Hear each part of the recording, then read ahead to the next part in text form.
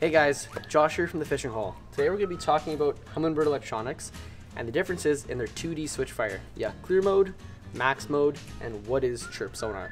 Alright, so you got two options, and it kind of depends on what you're reading at the moment. So for example, if we look at this screen here, we see we're noticing a lot of arcs, but a lot of surface clutter that's happening in between. So we can either crank our sensitivity down, which we're in clear mode right now, or you hit menu once, menu twice, go to your sonar tab, and you go down to 2D switch fire.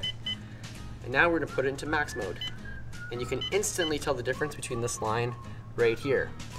So one of the bonuses is with clear mode, you don't have to have your sensitivity set as high, like we have here on the left. That's clear mode. This is max mode.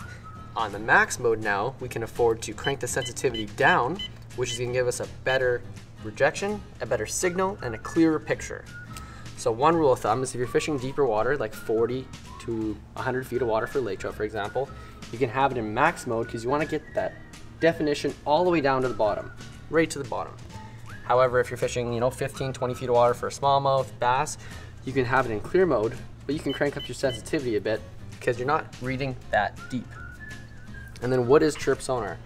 So chirp sonar is basically you get better target separation and you get a higher resolution picture that's coming from the transducer back to the head unit. So on older units, you'd have two fish that are on bottom. It might look like one big fish.